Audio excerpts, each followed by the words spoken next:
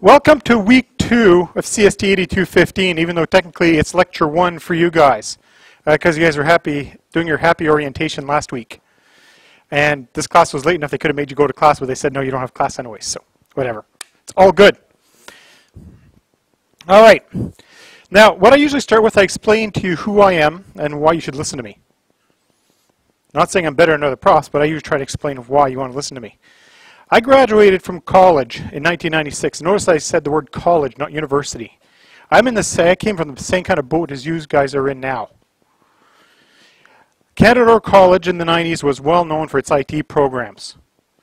Then things happened, and they're not so well known for it anymore because they canceled every all of them. But you know, back then they were well known for a very rounded program. And essentially, two weeks after I graduated, I had a job just show you that the industry exists. I've been working ever since. Uh, with, I think, longest lapse of unemployment I had was two weeks. So there's lots of jobs in IT. You just got to be willing to find them and work to get them. Now, I work full-time and I teach part-time. Now, what does that mean for you guys? It means a few different things. Uh, number one, I don't have office hours. Because if I'm not in the classroom with you guys, I'm either at my day job or sleeping. Because between the two, it's a 50 to 60 hour week. So there's not a lot of extra time. Look at the next line. Okay. There are other implications that go with that. It also means that I tend to make my stuff easy to grade, which means it's usually easy to understand what I want out of you. My goals are very clear and obvious. I don't use one of those fuzzy rubrics to grade you the 1 to 4. Oh, I guess you're somewhere like a 3.2. Either you got it or you didn't. My world's very black and white, and that's how it is once you get out of school. So I figured I should get you guys used to the concept of, yes, you achieved the goal. No, you didn't. Go do it again. I currently work for a company called CADlink Technology Corporation. In this room, there's probably one of you that knows who that is, because they did a co-op there a couple, uh, about a year and a half ago. Yay for them. Um, we are a small company, 40 odd employees. I've been there for 18 years. Been, we've been around for a bit. We make software for sign making. Everybody, that most people don't even know there's such an industry as sign making. So, billboards, yeah, we know how to make the software that runs those printers that print those big billboards.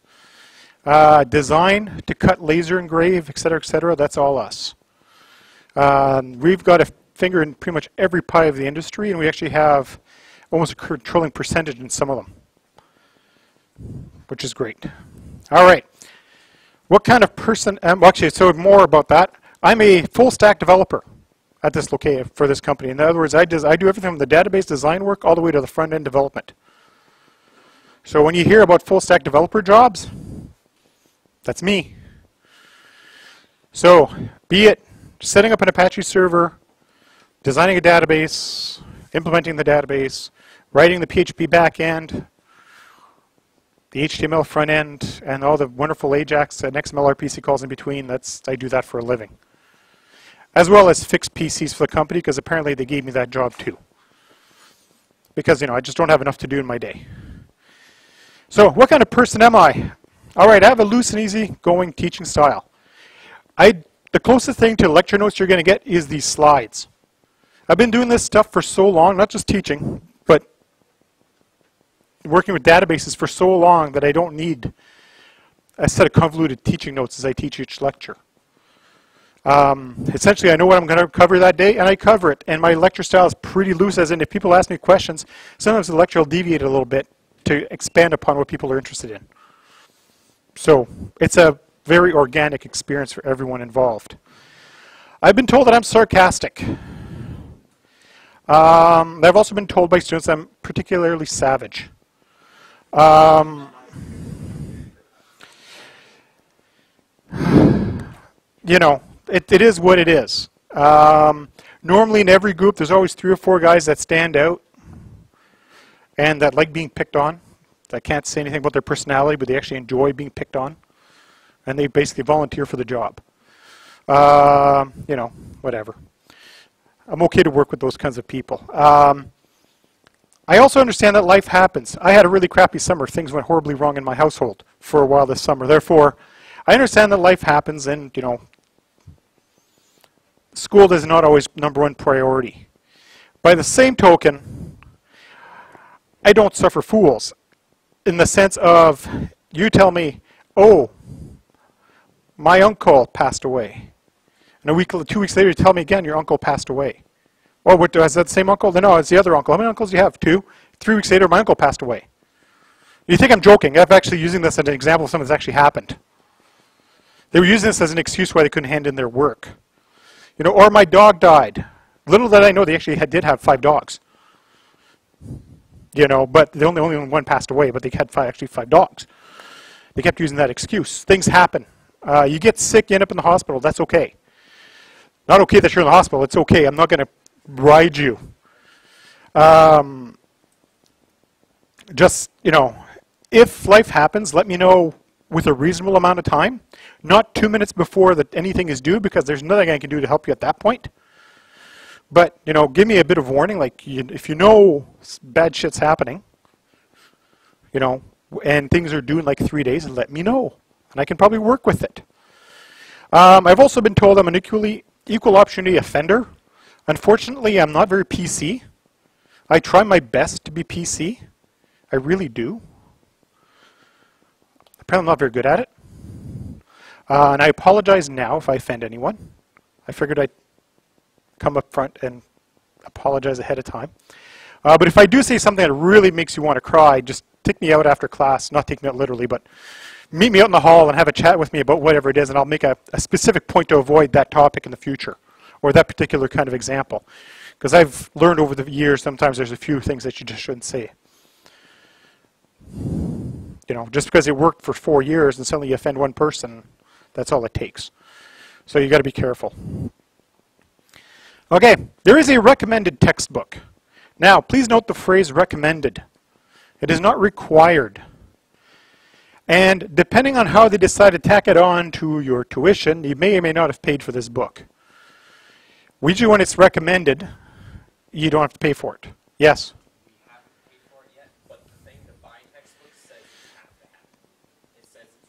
Yeah, it's required at level two. Oh, no, it, it yeah, it's on the course outline. It says it's recommended. Oh. Even on, if you even take the course outline, you can show them it says it's recommended. It's not required. Oh, Yeah,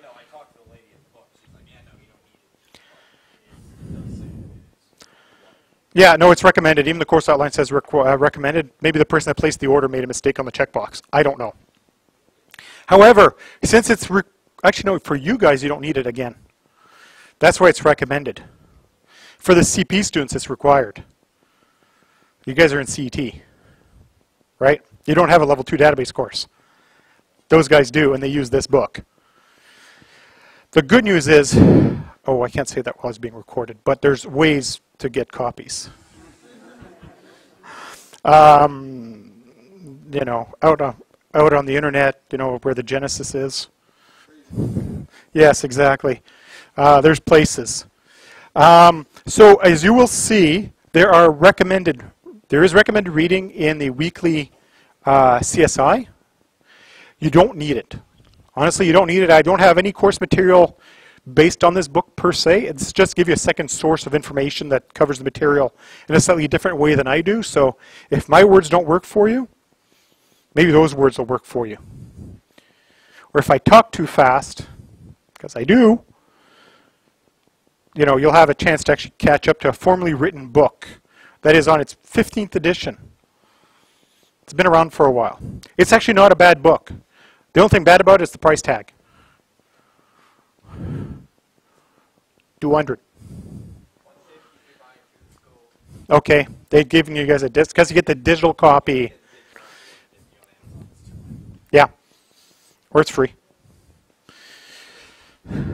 All right, Dan's rules for success in CST 8215. Okay, come to lecture. However, I don't take attendance. I suck at remembering names. I guarantee by the end of this term, I'll remember maybe 10 names out of this whole group. It's not because I don't care. I even get my kids' names wrong. My youngest is 18. And I still get her wrong. I call her by her cat's name every once in a while. But I never forget a voice, and I never forget a face. So I'll know who you are, I just don't know your, your identifiable designation. So I suck at it. I'm sorry. We all have to deal with it. Um, but I'm going to talk about the little camera that's on the go in a minute, which is why the attendance I don't take. Um, success rule number two, do your work.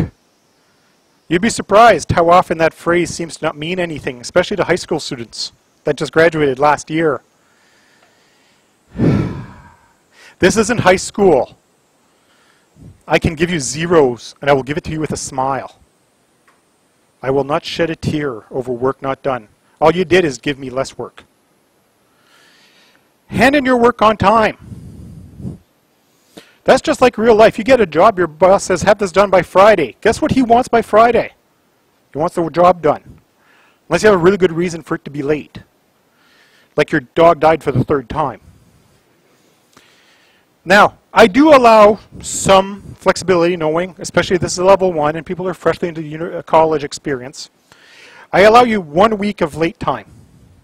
So what that means is you get an extra week after it's due. You take a 10% penalty off the top. So if the assignment's out of 50, 5 off the top. So you'll never have 100% if you're late. But you were late. And I give lots of time.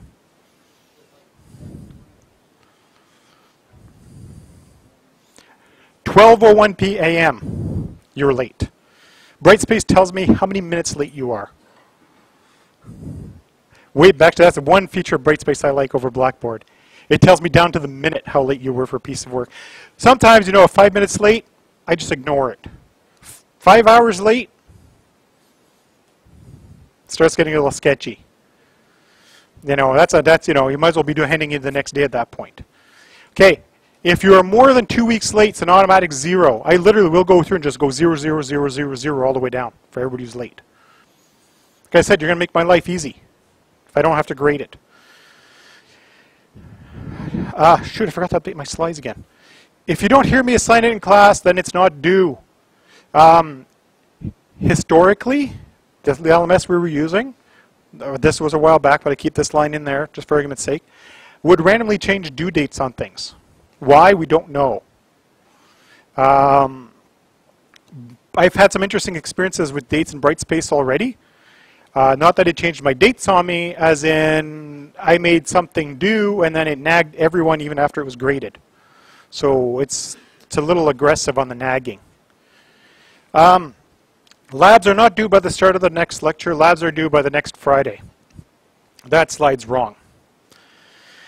In other words, a last week's lab is due this Friday. This week's lab will be due next Friday. So you have a week and a half, roughly, to do every lab. That is more than adequate, considering most of these labs can be done in less than two hours. Yes. Yes. Okay, late labs normally are an automatic zero. You've been given a week and a half to do less than two hours worth of work and you actually have a two-hour block of time allocated in your life already for it. There's not a lot I can do for that. Okay, what can you expect this term? Lectures, labs, assignment, tests, and a two-part exam. It sounds pretty much like every other course except maybe the two-part exam. In actual fact, I think for Java course, they've gone to a two-part exam now also. Thanks to me. It was my idea. Uh, I was the first one to implement it. You have a practical applied exam and then an actual theory exam.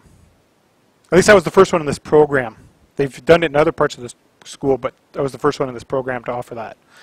That means I take your exam and split it in half. So instead of sitting down and doing a monstrous exam for two hours, you do two smaller exams over four hours, but not at the same time. They're actually a week apart. So actually reduce your, your stress level a little bit by spreading it out a bit. Labs are gradual. Oh, sorry, lectures are free from. I already covered that. I don't need to talk about this. Labs are gradual and peak difficulty around week 9, which it should be. It'll go like this, and then it'll level off, and then there's lab 10, which is more or less optional. Um, and I forgot to get rid of the word Blackboard as it shows here. It's supposed to say Brightspace. Uh, assignments are submitted via Brightspace. You have at least two weeks. My assignments are never brutal. There's no excuse to be late.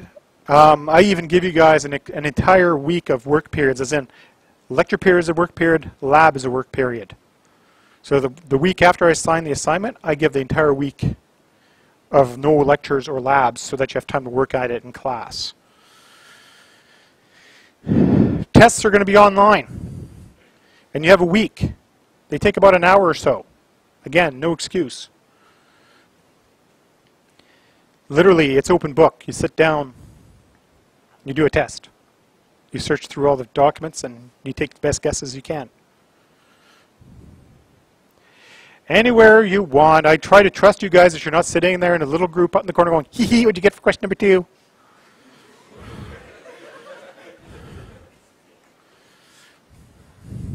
Just saying that you think I haven't seen this, because I have. It's not locked to the school. You can go to the residence. You can go home. You can even do it from the Starbucks if you want. I don't care. I do unlock it so you can't do it during the lecture or the day it's being released. So it becomes available as soon as the lecture is done.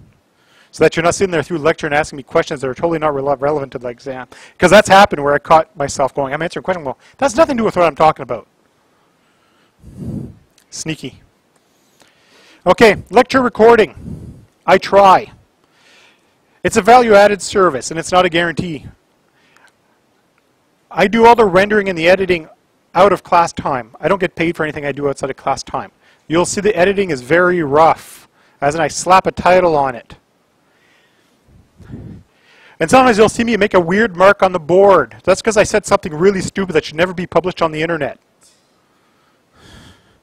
You see me put a little diamond on the board? Usually you'll hear everybody laughing just before I put the diamond on the board because Dan said something really inappropriate. Okay? Um, usually it shows up on YouTube within one or two days. I am using a brand new software editing suite this term, so I'm not sure how long all this is going to take compared to how I used to do it. And I actually do it. There's a YouTube channel. Every lecture for my last three years are on there. So you have previous versions of this course. You also have Introduction to Linux, which is a level 2 course. 8102, all my lectures for that is, are there too. And my lecture CST 8250, which is the level 2 database course for IAWD is there also. There's all kinds of lectures there for you to feel free to dig at. You can see how much my style has changed over the years. I can't say the quality got better, but the style changed. Uh, at least the audio has gotten significantly better in the last year and a half. Okay, what will you be learning this term? Basic database design. You will not be experts when you leave here. Not even close.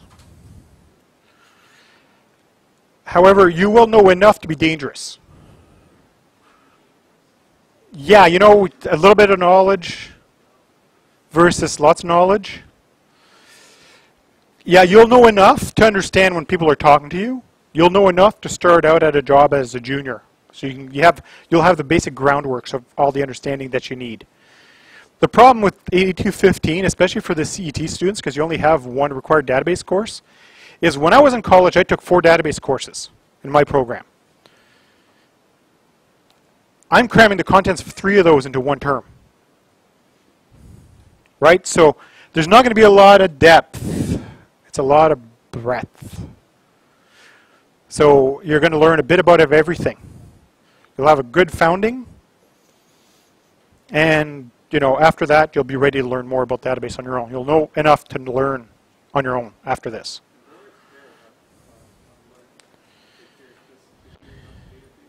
I've already had students tell me my course got them a job because they were able to mimic my words. So, you know, just saying. Uh, the database course is actually apparently a job finder even for the CET students. So it's worth paying attention in this class. Um, what else are you going to learn? SQL, that's the language you use to talk to databases. Um, views, triggers, stored procedures, and other stuff. The other stuff covers pretty much everything else on the course outline. Um, indexes, partitioning, that kind of crap. I don't spend a lot of time on that because personally I don't think it's that important as a level one course to have that material. If you want to know more about it, you can take the next database course because it's an elective for you guys. The level two for CP is an elective in your third term, I think, or fourth term. So you can take the level two course if you choose to. It's your choice. But you'll have enough of a foundation after I'm done with you that you'll be comfortable going into that second level course or even go to the workplace. So, all right, here's how the evaluation works. Labs are 10%. Quizzes, also known as hybrids, are worth 10%.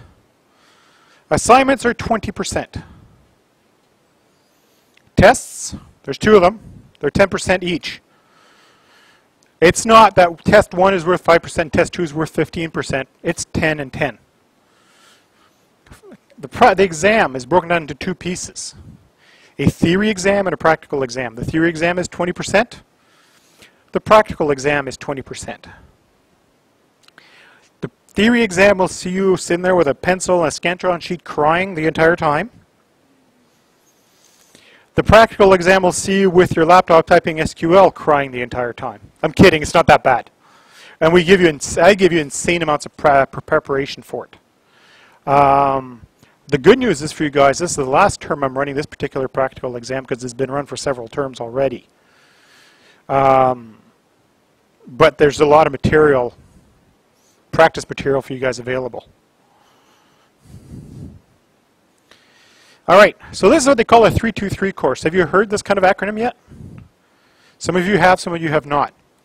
Okay, it's three hours of theory, two hours in class, one hour online, theoretically.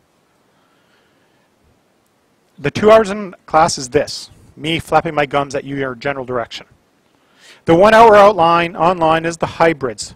Uh, if I remember right, I think I've got nine.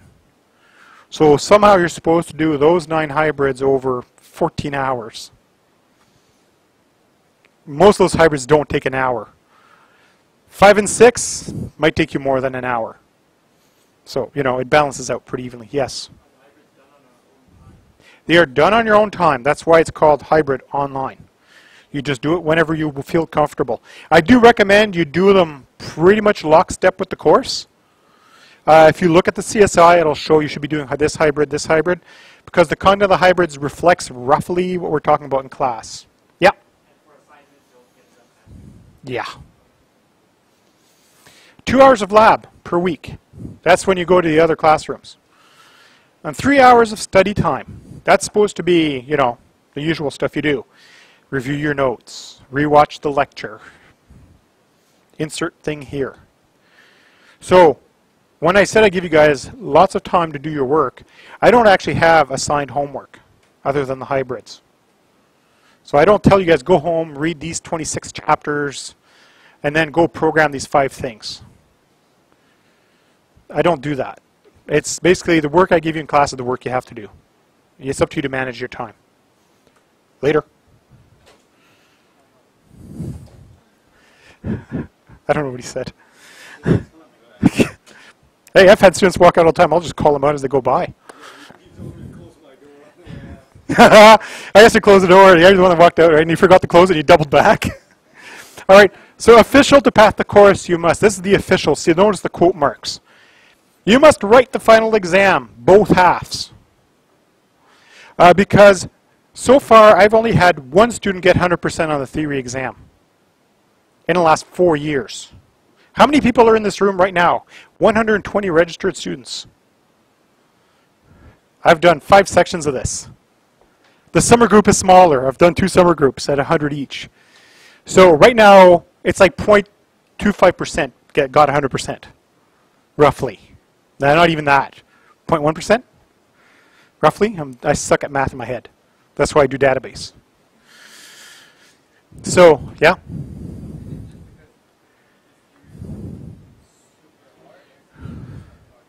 No, because it come, questions come from five different profs. There's five prof, five, four, sorry, four profs, sorry, four, hang on. Save. Five of us teaching this right now. There's five lecture sections of 8215. We take questions from all five, shuffle them up in a pot, more or less, and assemble an exam. So they may write a question in wording that you've never seen before. So what we'll do is we'll write an exam that's like 200 questions, then we start eliminating questions we don't like. We'll take five I don't like, five the other person doesn't like, and we bring it down to a reasonable number of questions. I don't know what the final number will be this year. But that's how we've been assembling the exams. And so in the end, you'll have an exam that has questions that aren't necessarily just from me, so you'll be getting wording you're not always quite used to seeing. Or, you know, they might use a diagram style that you're not quite comfortable with. You should be comfortable with it because it's pretty much the same as it is, but, you know, Murphy's Law would state sometimes just one different word is enough to throw people off. Yes? Scantron. The computer corrects it for me. So you must get 50% on test and exam combined. In other words, you got to get 50% on the theory portion, and you must have 50% on the assignments and the group work. Uh, you must submit both assignments. Even if you only get 5%, you must submit it. That's just the rules. I didn't make them. I've been, it's been dictated to me. These are the rules I must follow. And all labs, although I put in the word most, because life happens, and I'd hate to fail a student just because they, you know, were in a hospital with a broken leg and they couldn't hand in their lab on time.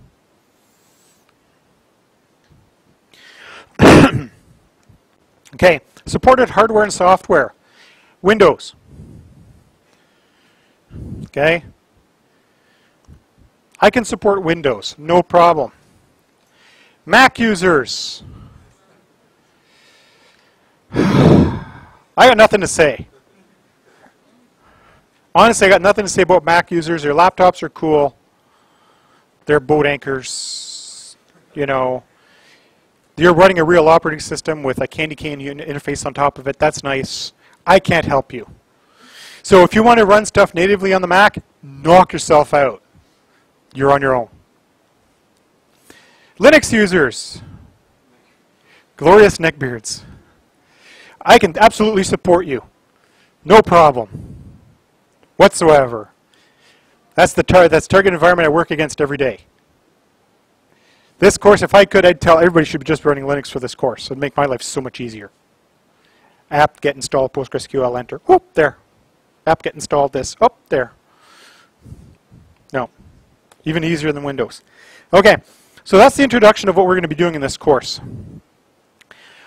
There isn't much more I can say about the leading into this other than we're going to get into the first lecture, which is actually pretty short because I usually keep my first lecture fairly short overall because usually it's in the first week of school and everybody's running around with their heads cut off. Well, it's the second week of school and I thought class was at 5 o'clock today. Why? Because I checked my schedule three weeks ago when I made all the announcements and everything, and they had me scheduled for 5. And today I'm sitting there and going, my spidey sense is tingling. Like, damn. What the hell am I doing home this early? I had to go home, right, to get ready to come to class. So, yeah. Oh, there's one more thing I wanted to mention. Okay, let's go uh, pay a little visit to Brightspace for a second.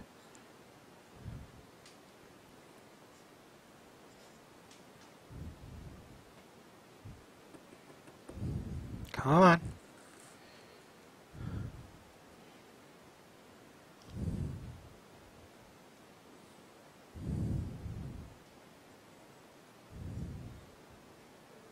I see our uh, Brightspace performance is stellar as always.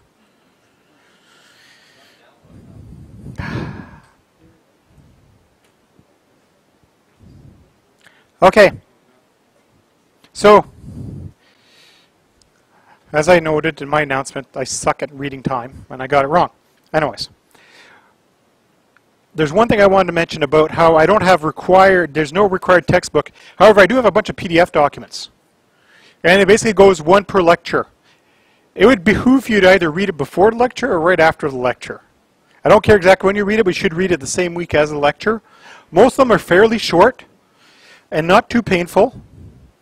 Um, as I as I said in the labs, um, I mean this one here is five pages long. Yay! Uh, unit 2 is nine pages long. So, yeah, how long should that take you guys to read?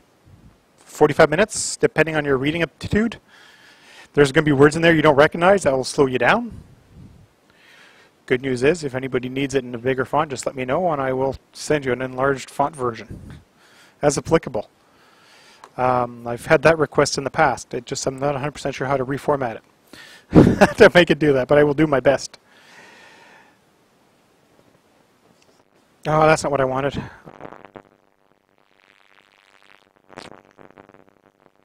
Okay. On with the show. Okay, so Unit 1.1. This used to be called Week 1, but guess what? This is Week 2. So I decided, you know what, I'm, gonna, I'm done numbering my slides after weeks. We're just going to call them in units instead. And essentially, week one is an introduction to database, as in what is a database, what kind of stuff do you need to learn to be able to work with them. Now, the first thing is what is a data what is database? As in what is a database? But there's more to it than just a database. Okay first things first you have to think about what is data?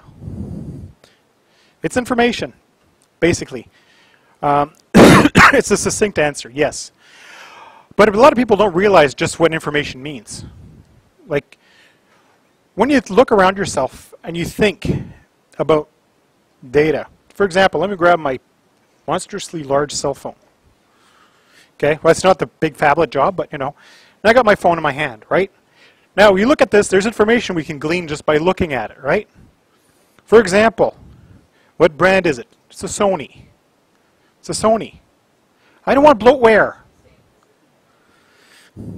Right? It's blue. It's actually blue. It's not black. It's not silver. It's blue. It's a pretty color. I didn't even pay extra for that. You know, it's got a six-inch screen. I had a rubber protector with a with a metal plate so it can stick to the magnet in my car, clunk on the dash. It's got four gigs of RAM, 64 gigs onboard storage. It supports an extra memory card, etc., etc., etc. It has a 23 megapixel camera that sucks ass. It can't focus if it life depended on it. You think from Sony, which makes the cameras for every other freaking cell phone out there, to have the best camera. Yeah, I know, it's terrible. Yeah, uh, well, my wife has the XA1. She has no problems with it compared to this one. So, yeah, so you'd figure, you know.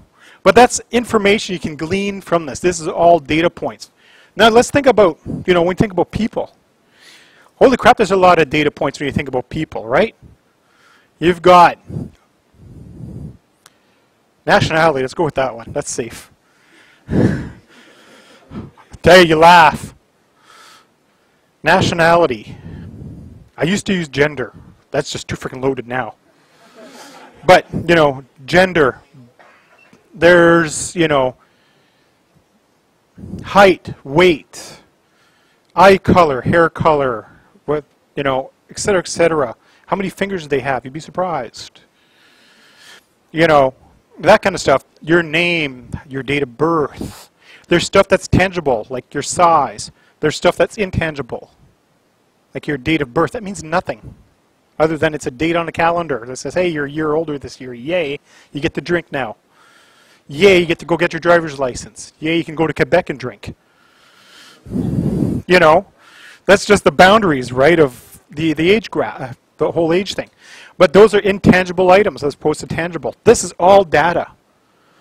There's other data, like when you buy something, you get a receipt. There's data on this receipt. So what is a database? A database is an organized collection of data. Usually, a given database is an organized collection of data on roughly the same related information. So, for example, you've all logged into Access at least once by now, right? That is a database, surprise, that contains information about you. What courses, what classes you're in, who your profs are, what your grades are, on and on and on and on.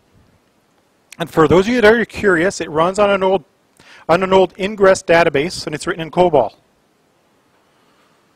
Don't go, oh, because you know what? They just released a new version of COBOL two years ago. It is the highest paying job right out of school right now. 90,000 bucks a year as a junior. Do not laugh at COBOL. It sucks. You're going to hate your life the entire time, but man, you're going to get paid well. Yeah. It, it's a programming language and database in one. It's a fourth, they call it fourth generation language. COBOL is a thing. It's out there. C-O-B-O-L. It's an elective later. You can take it later. It's an actual course here at the school. Almost nobody takes it because everybody thinks about it and they want to cry. A lot of people that get it, a lot of profs will talk bad about COBOL because it's COBOL. Um, and it, a lot of a lot of people are brainwashed to think COBOL is a terrible thing. It is a terrible thing that pays really well. Oh, I've seen 70, 90,000 starting out. It, it feels like a lot of money. Yeah. But just saying, you know, it is a, a good place to start. Yes. It's a programming language and database in one. It's you'd have to. It's like an entire course. It's, it is a language, it's what they call a 4GL, where the data access portions of it are built in the database, and the data definition portions of it are also part of the language. It does it all inside itself. It's kind of cool. And it's weird, archaic kind of way. Because it's not pretty. Because it was designed for managers to be understandable by non-programmers. It's very verbose. You know, instead of saying x equal 3, you go move 3 into x. Literally, you write the words move and into. So it's a lot of words for not a lot of action. Um, so, at this point, as you discuss people, what do you think is a database? What examples of databases you come across in your everyday life? You can't use Access because I already said it. That is not a database. That's a spreadsheet. Eh? like a digital one, or are you talking about a piece of paper?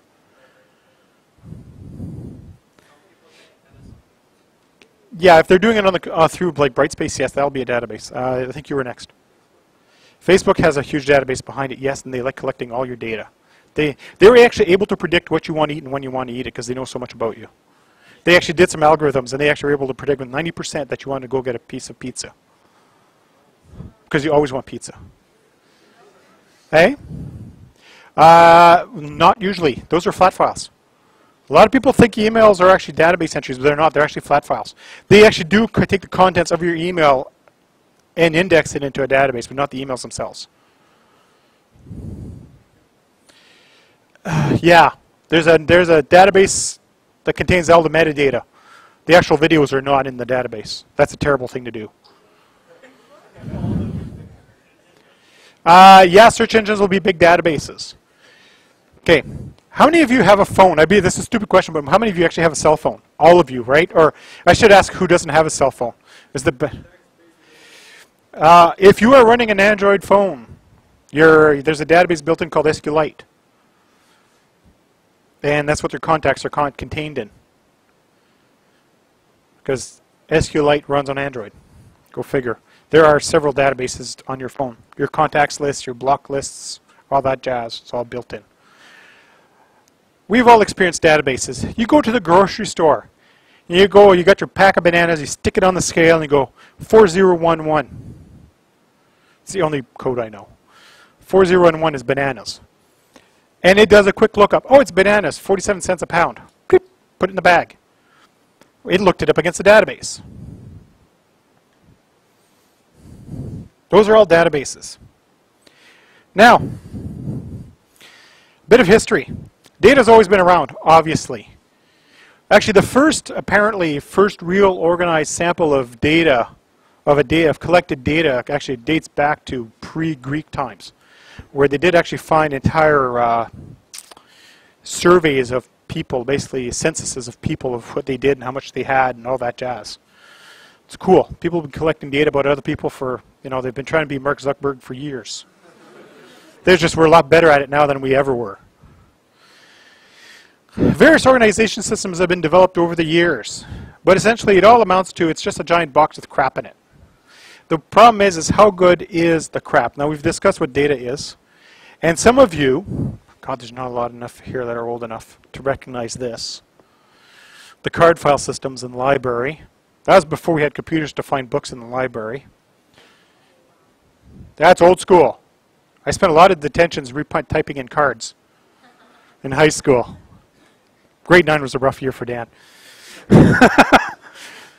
but yeah, th those were how you'd find books, and that was basically that was a giant database that organized all the books. You had you know drawers based on titles, drawers based on topics, and you'd sit there and look up topics, and you'd have a you'd find oh the book at whatever decimal number this is this rip, and we walk out the card, right? That's why I always had to retype them because those jackasses. Okay, short history part two. Now, commercial database systems have been around for a long, long time. The very first SQL compliant database system is Oracle. That's why it's still around. They are still making insane amounts of money even though their sales have been flat for four years. Why? Because once you're in an Oracle shop, you can't get away from it. It's like a crazy significant other. There's no getting rid of them. Uh, which is not quite true because things are starting to change finally. Uh, Oracle came along and did it. IBM said that's a great thing. They made one called DB2, which was actually better and more powerful than Oracle, and nobody ever used it. Why? Because you had to buy an IBM mainframe to run it on. Whereas Oracle ran on everything, generally speaking. When computers were the size of this room, it ran on any of those room-sized computers.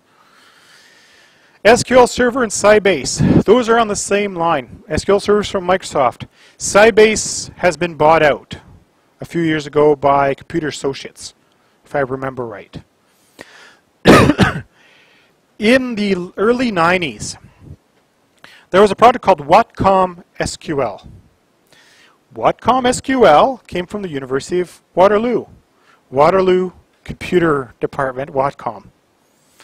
And they had a data, an SQL server that they'd created.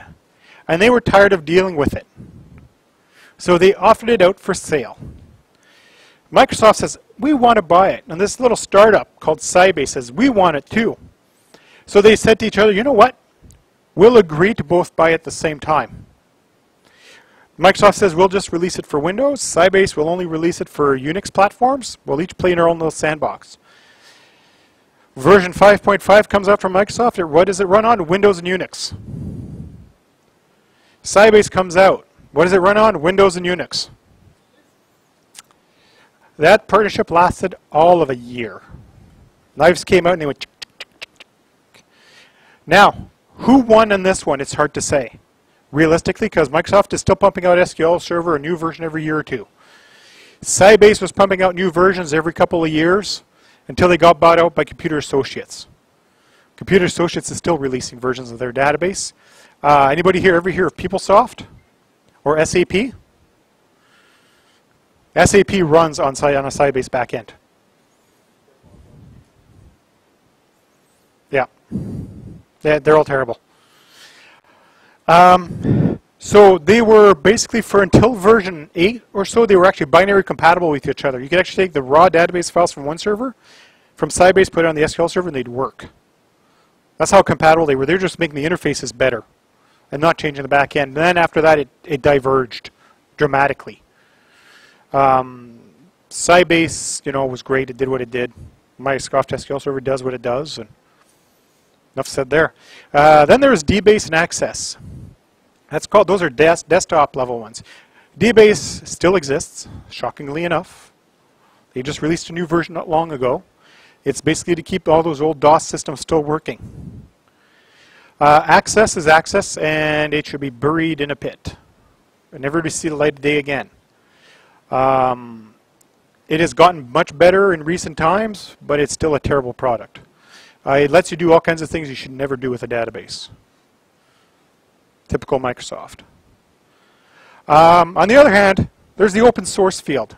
There's MySQL. MySQL exists everywhere. It's like athlete's foot. It does the job. It spreads. Everybody knows how to use it. At least anybody who does web development knows how to deal with it. It doesn't mean it's a good thing. It just means it's ever, and by the way, MySQL is owned by Oracle now. MySQL stopped progressing when Oracle bought them. Go figure that one out. I wonder why. And they got forked off to another product called MariaDB. So now you got two versions of MySQL that aren't compatible with each other anymore. Great times. But it's everywhere. So if you get a web hosting package, if anybody here's ever set up, bought a web hosting package, you get MySQL included for the ride. They all give you MySQL. It's like going to the Nepean Sportsplex and not wearing shoes. You'll get it whether you want it or not. PostgreSQL, which is the one that is used for this course. Postgres has a very colorful history. Um, you know, there's a university in California, I don't remember which one, I'm pretty sure it's Berkeley, had a product called Ingres. And you've already heard me say the word Ingres today, because the school runs on Ingres. And after a while they said, oh, we're done with this, we'll open source our database. They threw it out in the wild. Have source code world and you figure it out yourselves. So they said, well, we can't call this Ingres anymore, so we'll call it Postgres. You know, Ingres, Postgres, real cute. And then one guy said, you know what we really need though? We need needs SQL because Ingres and Postgres originally did not have SQL. So they threw, they tacked on SQL, so it became PostgreSQL. Let's not try to make this something pronounceable. So it became Postgres. People just assume it does SQL now. They're right now on version 10.5-ish. Uh, they're in betas for version 11. It is the most advanced open source database server on the market, bar none. It is the number one choice for people dumping Oracle. Why? Because there's an, an extension for it that makes it 99% compatible with Oracle. At least for the data types and its stored procedures. None of the server-side configuration type stuff, but you can actually port your database directly and it'll work most of the time.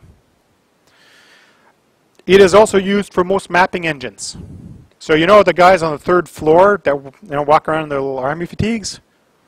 They're taking the geo mapping course for the military. They're using Postgres with the GIS extensions. Uh, GIS is Global Information System, or Geographic Information System. It allows you to map. Um, Postgres has the most data types available to you. They've got a, it's got a data type for everything. And then some. And you hear about people that talk about, oh yeah, MongoDB, best thing on earth. No. Or, you know, big SQL this, or, you know, whatever, insert thing here. Postgres can do all of that. It supports all the same leaf node structures as all the other guys, but it does it in a sane manner. Um, it is the also surprisingly the most traveled database in the world. There's a Postgres database on the ISS. There's no MySQL up there, but Postgres made it. That tells you something about stability. Um, Postgres runs on everything. At one point, I actually found an Android version. I could run it on my phone just for shits and giggles. It was absolutely unusable, but it worked. It supports every major processor architecture back to the original 80, uh, sorry, uh, 6,800, uh, 68,000 processors, the Power PCs. It supports everything. You could run it on your on your on your like Mac sevens, you know, Mac OS seven. It ran on it runs on everything. Um, it small footprint. It follows the rules. It is also the most SQL compliant. Like all the rules of SQL, it's the most compliant of the open source databases. That's why we're using it for this course. For those that are, for a few that ask me, why are we using Postgres and not SQL Server? Um, if you ever tried running SQ, Microsoft SQL Server on your laptop, especially those of you that have a laptop that's not brand new, have have a good time. Uh, be thankful you don't have to take level 2 database because all those poor suckers have to run my, uh, Microsoft SQL Server and Oracle on their laptops. It's a terrible time. Uh, there's a few other open source database servers. There was one called Firebird. Uh, I thought it was dead, but apparently it's not. Uh, SQLite the world's smallest SQL database. It is an, what they call an embedded SQL database. Um, it is a 300K library. It's a DLL on Windows. You include it in your Windows project. Boom, you have SQL in your, serv in your, in your software. The company I work for, we use it to, to keep all our settings because our software has an insane amount of settings, right? Looking at the guy who worked at for us, and he knows exactly what I'm talking about, how so many stupid settings the setting of the software has for a graphics package. And we actually use an SQLite database to keep all our settings. It's easier than actually writing INI files, because the INI files would be like a meg, which is a little absurd. All right, so why would you use a database? Rule number one, you'd use it for data storage. Why? Because that's what it's for.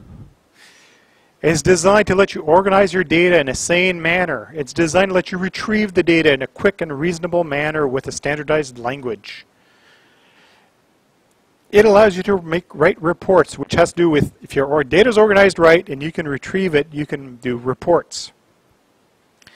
And what kind of reports do you see out of databases? There's a couple of kinds. Mail merges. How many of you have received a personalized letter in the mail recently? You know somebody didn't sit there and type your name on that, right?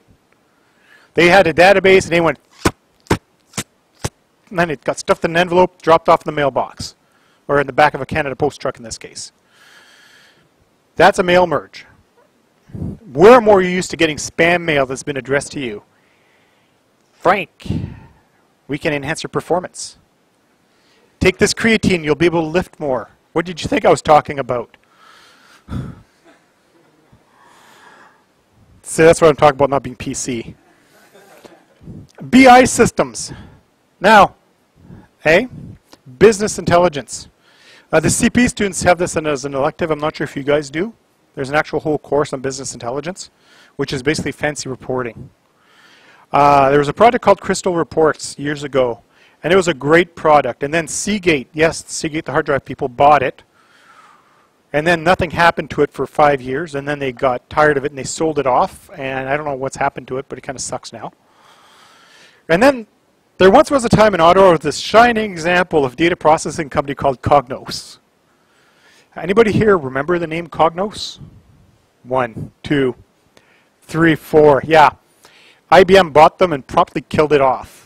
They just basically bought the buildings, occupied them with IBM employees, rebranded everything that was called Cognos into Rational this, Rational Rose this or that, and that was the end of the product. Uh, it was one of the best reporting platforms available on the market. Gone. But those are products, what they do is they're set up, they run at night, batch jobs every night, they'll build up little reports, with little pictures and graphs, and then he builds up these reports and mails them off to managers so they can sit there and promptly ignore them. Weekly sales numbers, I don't care. I'm going to go ask Bob how we did this week, and we'll trust Bob's word over what's actually coming out of the database. Because, you know, Bob really knows what he's doing. Bob doesn't know what he's doing. So, you know, getting ground feel what Bob feels like it's doing is a good thing, which compared to the real numbers. Because maybe Bob had a really good week and everybody sucked. That's reporting. Um, what kind of other reporting you get out of there? For you guys, you'd have the experience of your grades. That's a form of reporting. At the end of the term, I upload your grades. I hit submit. Three or four days later, you find out what your grades are once the department chair approves them. Then you get a little report that says, this is your grade. And they go, what the frick, Dan, do to my grade? Well, it's too late now. Maybe you should have done that assignment. Okay. now, there's types of databases. There's the flat model. Those are two-dimensional array of data, essentially. Essentially, almost like a spreadsheet. Basically, it's a text file if ever you've opened up what they call a CSV file, a comma separated value file, whereas basically it's a bunch of text with commas in between, quotes sometimes to separate words that have spaces or commas in it. Each line is a different record. That is a flat file. Way back in the day, that's what we used. Our programs would read these files, parse them, and output results. And as the day's business would go on, they would just get appended to the end of each daily file, and we'd run all the files, summarize them, add them to the weekly summary. We'd, then we'd run all the weekly summaries and add them to the monthly summaries. It was painful. Anybody here try to log into Access after 11 o'clock at night? How'd that work for you? Why? Because it's an old COBOL system that's doing its nightly maintenance. It's parsing its flat files, preparing documents to be pushed into all the other systems you guys have access to. So what it does, it runs every night, looking at who's been added to courses, removed from courses, who's dropped out, et cetera, et cetera. And then it builds up output files that are reports, and they get out, sent off to the things. So yes, I keep forgetting I can't get into Access after 11 o'clock at night. We all have that problem. All right, there's the hierarchical model. It's a tree-like structure similar to a file system. If, you're, if you've seen, you know, you go into Windows users, Mac users, don't even pay attention to me. Windows users, C, then you have, you know, program, program files x86 users, Windows, and miscellaneous other folders in there. Then you go into each folder and it opens up, and then you have files. That's what the hierarchical model was like. It was basically a giant tree structure.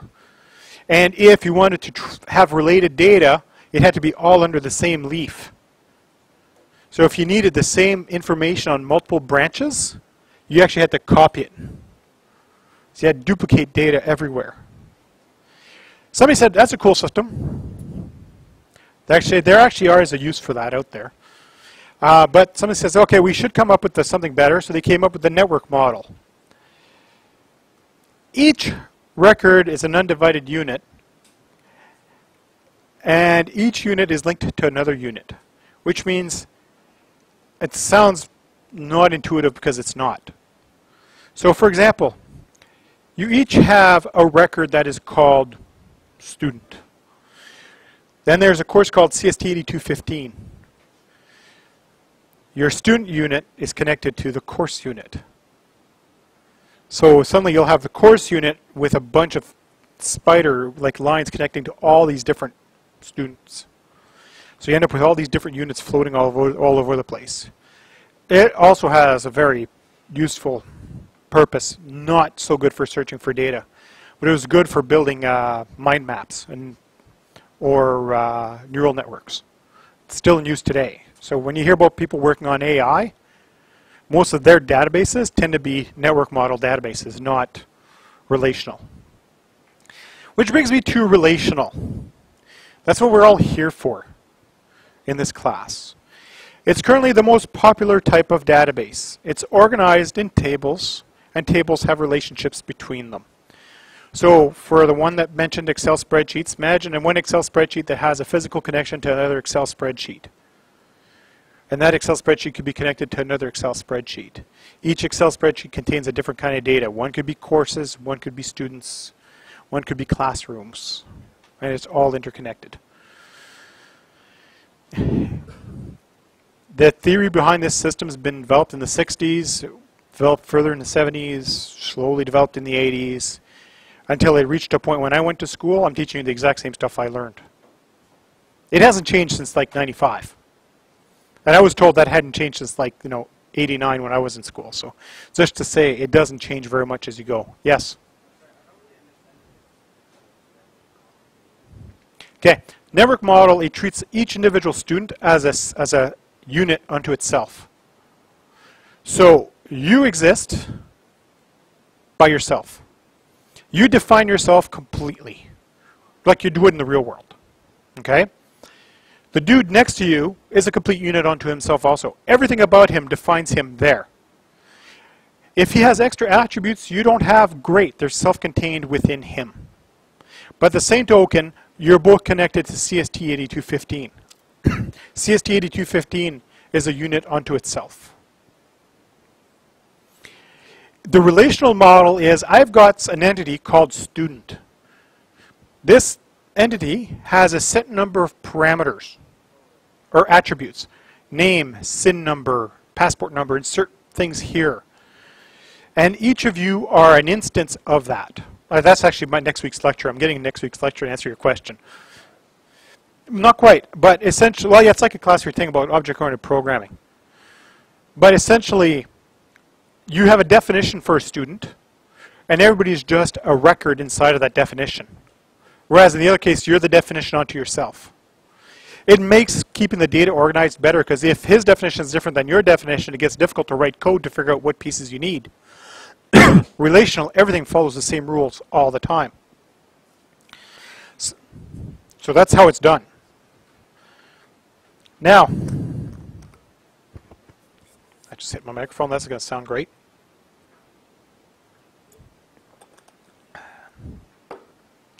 Database management systems. A DBMS is a piece of software that manages the data in the database. Now, really the acronym has become RDBMS, Relational Database Management System. And depending on which one you use, it comes with extra stuff, extra features.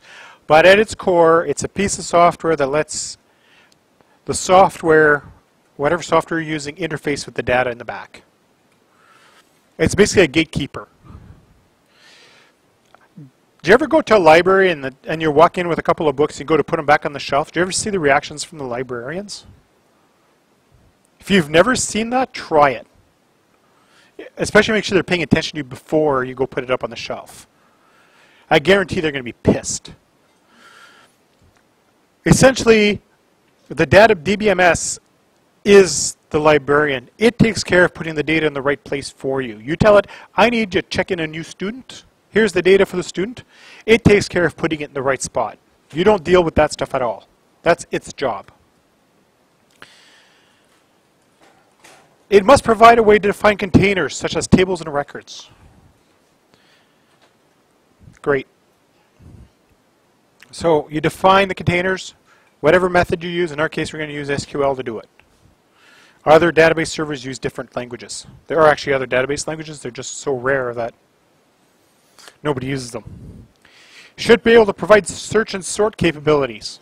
Again, SQL. Provides data management tools.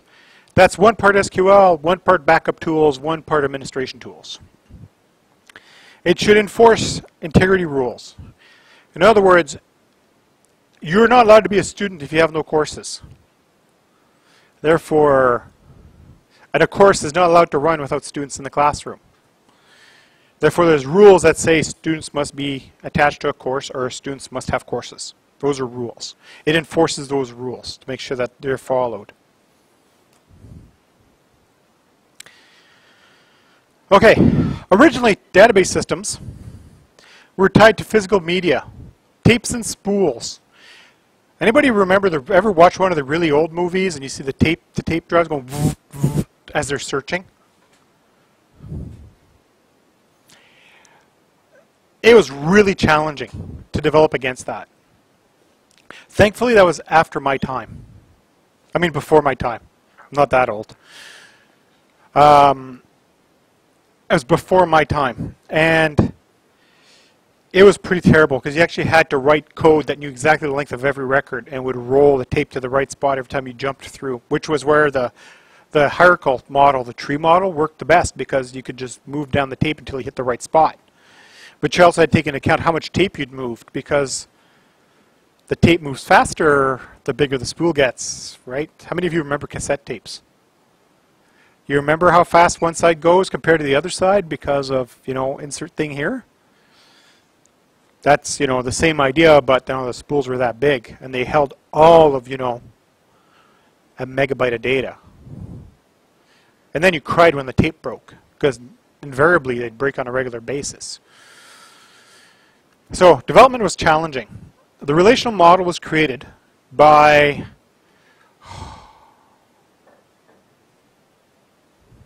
I usually pull up his name automatically. Um, Codd, C-O-D-D is his last name. I can't remember his first name. As I said earlier, I suck at names. Uh, but Codd was one of the first ones that came up with the relational model. There's actually a couple of other guys. There's another fellow called Date, C.J. Date, also came up with a lot of the theory. And they figured out if we create a relational model, we can abstract the design from the physical media, as in the physical media has nothing to do with the data that's contained on it. So the goal of a relational system is data independence. In other words, the data structure should work no matter where you put it, what you want to run it on. You don't have to code to the fact that the tape moves at a certain speed after so many feet. You just ask for a record 66, and it doesn't. It just goes and grabs it. That's data independence. That's the goal. Now, because we're worrying about abstracting, it leads us to data modeling. because you can't abstract unless you model. And that's going to be the first part of this term. This basically, the way I've got the term broken down is we spend about three, four weeks on data modeling, three, four weeks on SQL, and a couple of weeks on other crap at the end. The other crap's important. It's just not as important as the other stuff. And the data modeling is what we're going to focus on for the next three weeks after today. The data modeling is the process of exploring and creating data-oriented structures. So you're going to learn about how to look at things in the world and create designs that define these things. So you're going to learn how to organize your, your, your data. Now, usually I have fun with this question. How many of you have very neat bedrooms? Like, clean freak level neat. Like your books must be, you know, all your video games are organized by alphabetical on the shelf. Okay? Okay, you're probably not going to have too hard a time with this. How many of you look like a dog threw up in your room? And you get up and go, ah, that's okay. Yeah, you're going to have a hard time. No, I'm just kidding. Some of you do just fine. just the condition of, I'm just saying, usually the ones that are have really messy environments tend to have very um, loose thought processes, and you're going to have to work a little harder on sorting your stuff out. But sometimes those have really loose thought processes actually pick up missing details that the really organized guys don't pick up on. So it's different sides of the same coin where you have better skills for some of it, but you're going to have a harder time figuring how things are organized.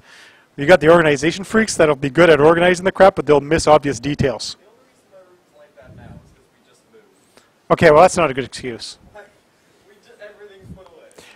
Like I like my space clean. My office is the cleanest office at CADlink, by far. Yeah, he's going, yeah.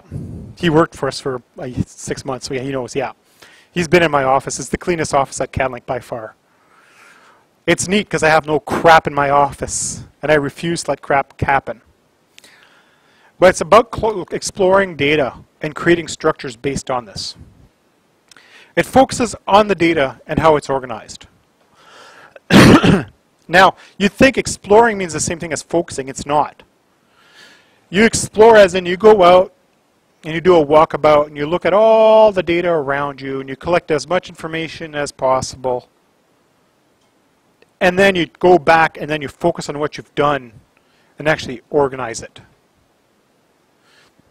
That's the difference. The first step is exploring. The second one is the focus and organizing it. And I'll be honest, I really sucked at it when I started out.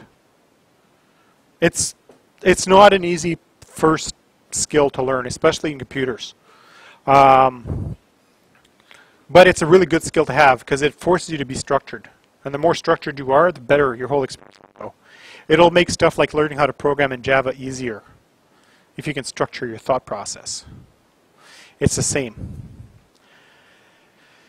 Now, Part of the data modeling is also determining the entity types and their relationships. Now, next week I'll be talking specifically about entity types and that kind of stuff, but as a preliminary, when you talk about data, you've got entity types, also known as entities, and instances, entity, entity instances. An entity type is a thing. For example, a student is a thing. I'm not saying each of you are things but a student is a thing. We can determine what defines a student fairly straightforward, right? First name, middle name, last name. Identifying number of some sort, whether it's a SIN number, passport number, student visa number, insert whatever it happens here. Gender. There's 33 of them now. Eh? Eh? No, no, that's uh, the Wikipedia page. Gender, um, address, phone number, email address, etc., etc. All those pieces of information can be collected, and every one of you will have most of this information. Therefore, you will each have, you'll be slotted into each of these bins. And each of you will have most of this information. Mind you, you know, some people have only two names, and some people have many names. You know? You come from a Portuguese or Brazilian or a Portuguese country, Portuguese language country, you'll have lots of names. You come from Quebec, you'll have a bunch of hyphenated names. You know, you come from the Middle East, you'll have the same name many times. Depending on where you're from, you're going to have, that's, that wasn't PC, but it's true. Can say it's insulting, it's just the truth. Right? You could have my name. You know, or you could be a French Catholic where your first name is Joseph, whether or not it is. Because it's automatic. If you're a baptized French Catholic from Canada, your first name is Joseph, whether you want it to be or not. We're all Joseph. Welcome to the club. It's not on my birth certificate, but technically it is according to my baptism certificate. That's just how it is, right? We all have quirks to our names. We all have a date of birth. We all have an identifying number of some sort, no matter where we're from. That's an entity type. A course is an entity type. A course section is an entity type. The relationship would be, there's a course called CST 8215. There's a section called 300. 8215 currently has five sections, right? 300 through 305. Yeah, 305. Each of you are connected to one of these sections. So you guys are connected to 300. So 8215 has five courses. Each of those five courses has, uh, except for 305, has 120 students in each one. There's an awful lot of you database people this term.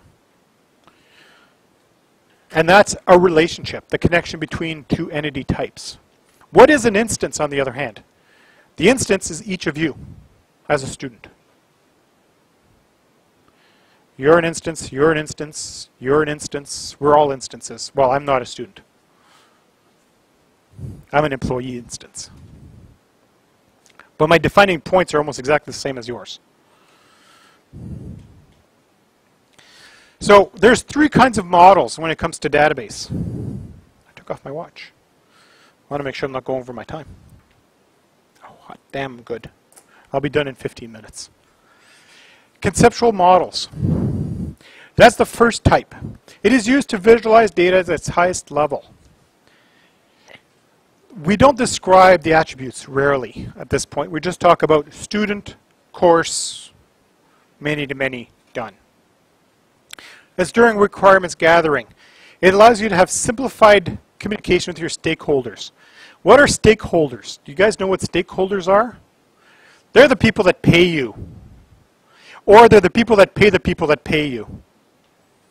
Which is even better. Because if people pay the people that pay you, that means you're probably going to get paid. Which is the goal of going to school, right? So essentially, it allows you to give pretty pictures to your customers and make them feel good about what you're doing for them. It allows them to actually understand what, it allows them to know whether or not you understand what their needs are. It's very basic. And one of the hybrids, I believe, covers this stuff. And the doc, the booklets cover it too. Now, it covers the important entities and the relationships. There are no attributes. There's no primary keys. There's none of that. It's the very most basic. A relationship would be professor-students.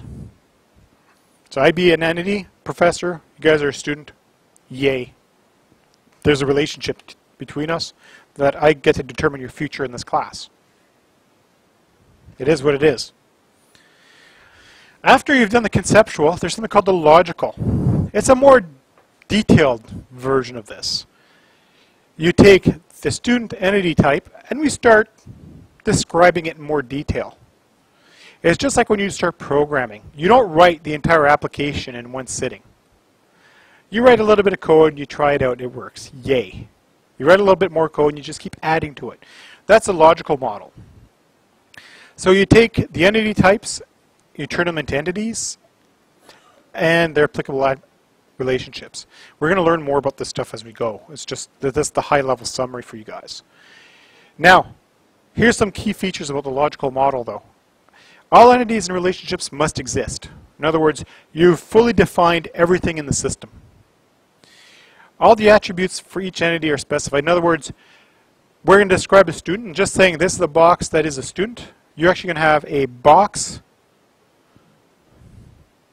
that has everything that defines a student inside of it. Person's name, date of birth, skip gender, everything else. Right? All these other attributes. The primary key for each entity is spe- specified. I'll be talking about primary keys later, but that's just a key attribute of when you define a logical model. Foreign keys are defined. How are things interconnected? Again, I'll be talking about later. And normalization, the best database topic ever. I love teaching about normalization. And then there's the physical data model. This is the actual physical representation of the model. Now, this is where it becomes database specific. So the logical model is a model that can be carried across any database server. It's totally database server agnostic. It doesn't care. The physical model now cares. It specifies all tables and columns. In other words, they're no longer entities, they're no longer attributes, they're actual tables and columns. There's the physical representation.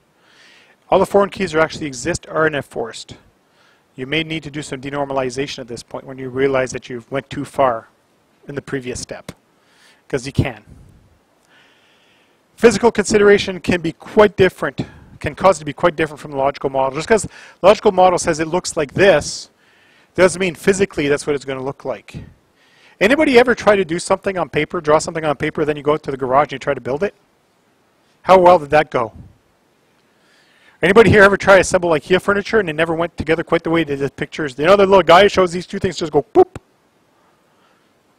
And the, you know, you can't understand why there's like this nine degree turn in this one piece that's not, yeah. Yeah, it's off by one eighth of an inch and you can't get the damn screw in because the factory the diagram doesn't show you that you're supposed to flip the damn board the other way. It's not obvious. Yeah, but not on the boards themselves. So you start out wrong.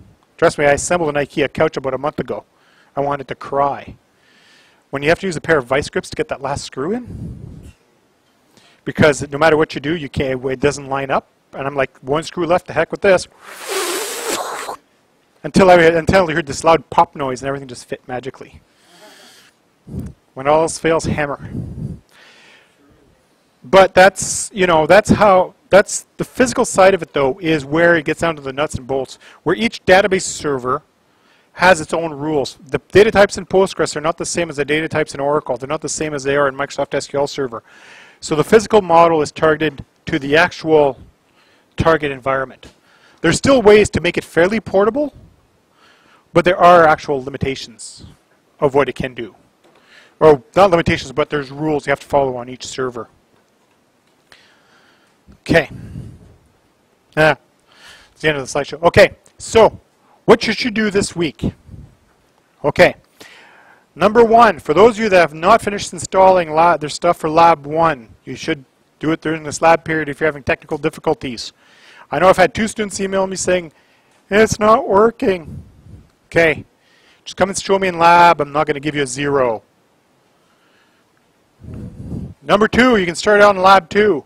You can even do it at home if you want. It's actually fairly straightforward. It's a monkey see, monkey do lab. Click here, do this, click here, do this, click here, do this.